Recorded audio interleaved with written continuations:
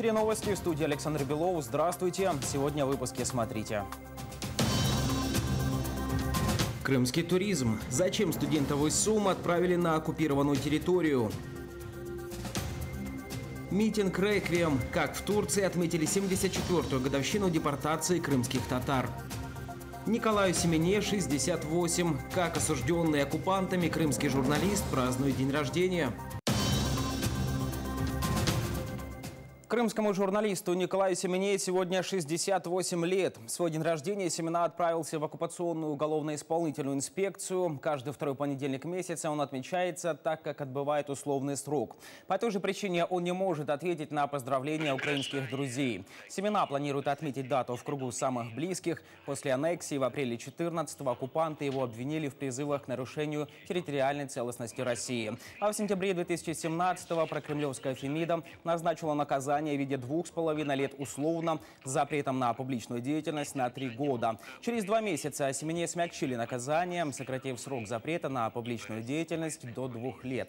Сам крымский журналист считает, что он реализовывал право на свободное выражение мнения.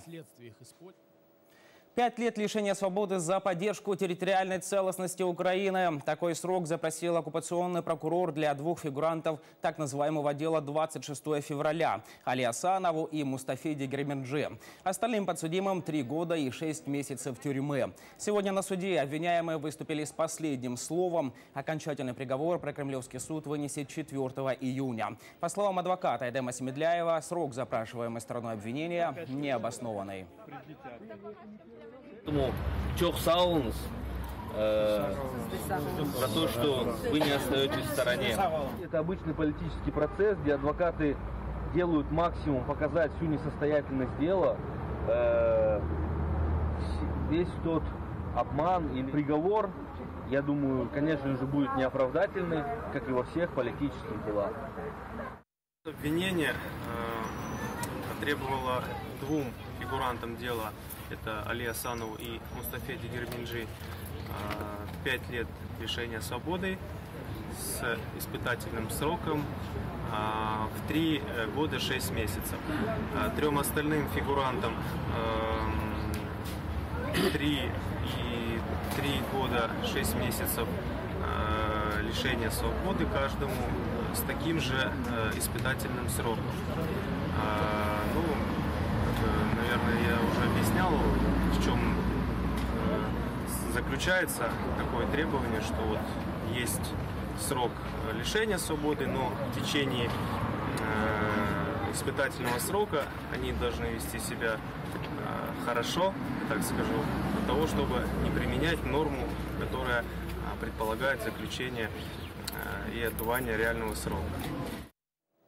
Освободить Игоря Мовенко. Правозащитники обратились к правительствам стран Украины, Евросоюза, США, Канады, Австралии и Японии и международным организациям. Они призывают международное сообщество содействовать освобождению Игоря Мовенко и усилить санкции против России за преследование проукраинских активистов в оккупированном Крыму, а также обеспечить поддержку родным Мовенко и семьям других политзаключенных. Подписать обращение можно на сайте Украинского Гельсинского союза по правам человека 7 мая 2018 2017 года оккупационный Гагаринский суд в Севастополе приговорил Мовенко к двум годам лишения свободы за посты в соцсети, обвинив в публичных призывах к экстремизму.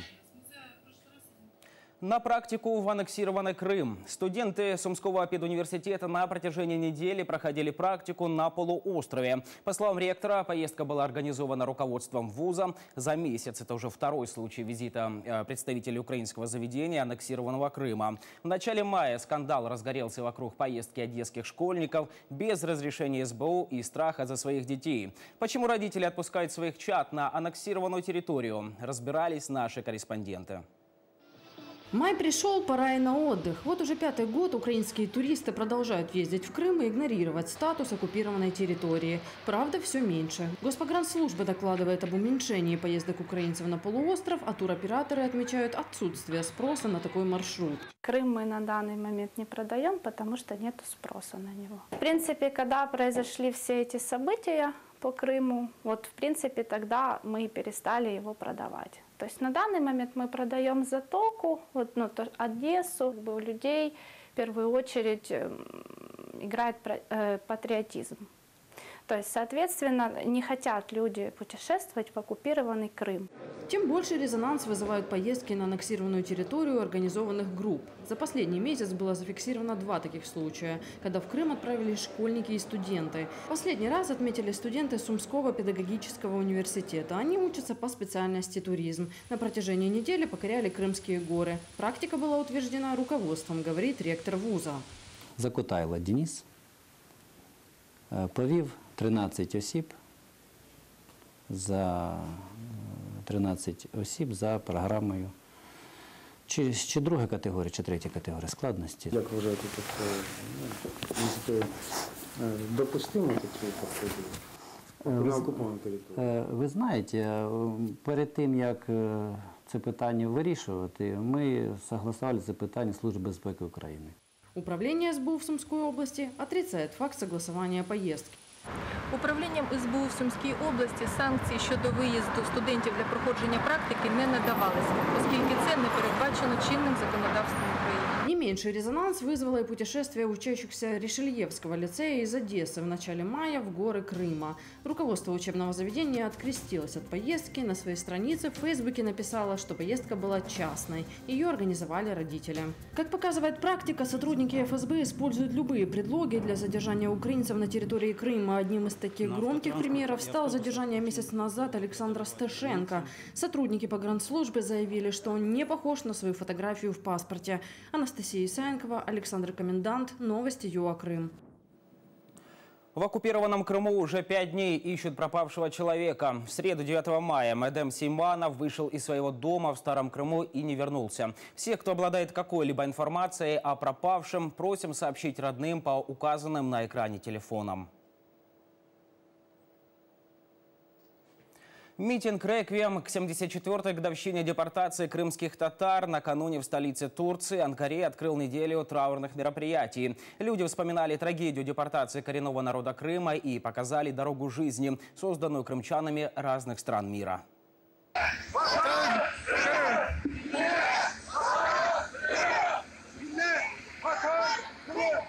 Сотни крымских татар, проживающих в Турции, собрались на площади Анадола в Анкаре. В руках у людей украинские, турецкие и крымско-татарские флаги. Плакаты с надписями «Крым принадлежит крымским татарам». Люди пришли вспомнить о трагических событиях депортации 1944 года.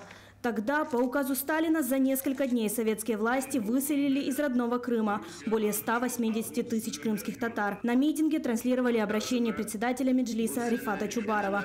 Он напомнил, что положение крымских татар до сих пор остается трудным. И крымско-татарский народ, и турецкий не забудут про геноцид крымских татар 18 мая 1944 года. Все, кто причастен к тем трагическим событиям, должны предстать перед судом. Да здравствует Турция, да здравствует Украина, да здравствует Крым, да здравствует крымско-татарский народ. На митинге впервые показали дорогу дружбы. Это огромное полотно, сшитое из сотен маленьких кусочков ткани. Их присылали крымские татары из разных уголков Турции и Украины. Люди мечтают, что после деоккупации это полотно окажется в музее свободного Крыма. Поддержал крымских татар и министр иностранных дел Павел Климкин. Его обращение зачитал посол Украины в Турции Андрей Сибига. Україна рішуче засуджує злочини кремлівського режиму як у минулому, так і в 21 сторіччі. Це не мислимо, але сучасною реалією тимчасово окупованого Росією Криму знову стали вбивства активістів і просто незгодних. Член Меджлиса крымско-татарского народа Гаяна Юксель прилетела из Киева на митинг, чтобы рассказать о том, как живется крымским татарам в оккупации. Коренной народ Крыма, народ, который имеет полные права на эту землю, крымские татары, находятся под давлением. И всякие попытки э, русской пропаганды показать, что в Крыму сейчас хорошо, просто попытка э, замылить очи. На 20 мая запланирован еще один митинг «Реквием крымских татар». На этот раз в Стамбуле напротив Генерального консульства России в Турции. Оксана Гуцел, Новости, ЮА Крым. Против пяти членов избиркома Крыма и Севастополя ЕС ввел санкции. Все из-за организации незаконных президентских выборов на полуострове. Это Александр Петухов, экс-глава избирательной комиссии Севастополя и еще четыре действующих члена избиркома. Наталья Безрученко, Инна Гузеева, Мирослав Погорелов и Анастасия Капранова. Украина и страны Евросоюза не признают результаты незаконных выборов в Крыму и Севастополе 18 марта 2018 года и называют их нелегитимными активными. Дмитрий Медведев вновь возглавил правительство России, а значит, пенсионерам в оккупированном Крыму снова жить с тем, что денег нет. Крымчанка Анна Буянова, благодаря которой ответ премьера стал популярным интернет-мемом, это точно знает. Обещанной индексации пенсии от Медведева она так и не дождалась. Женщина живет на пенсию в 8 тысяч рублей.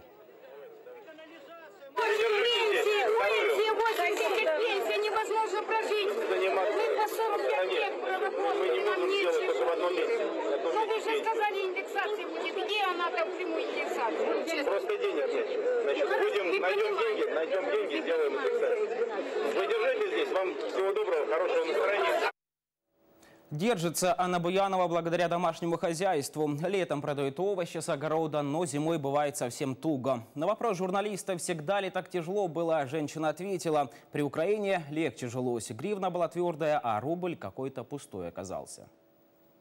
За незаконное посещение Крыма в Украину не пропустили еще одну российскую певицу Светлану Сурганову. Об этом сообщает Госпогранслужба. Во время оформления пассажиров рейса, прибывшего из Минска, одной из прибывших оказалась российская артистка. Украинские пограничники установили, что в мае 2016 года она посещала оккупированный Крым, прилетела авиарейсом из Петербурга в Симферополь и за два дня вернулась обратно в Россию. В Украину Сурганова прибыла не для концерта, а э, с частным визитом. Но законодательство временно на оккупированных территориях не предусматривает исключений. По крайней мере, до момента освобождения Крыма, уточняет в Госпогранслужбе. Виявилось, що вона в 2016 році відвідувала окупований Крим через тимчасово закриті пункти пропуску, чим порушила законодавство України.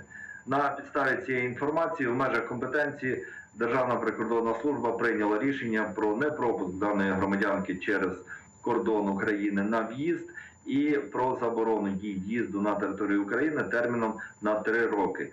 Загалом це вже 117-та е, артистка і власне публічна особа із Російської Федерації, якій ми відмовили в перетині кордону і заборонили в'їзд терміном на три роки впродовж минулого і вже поточного року.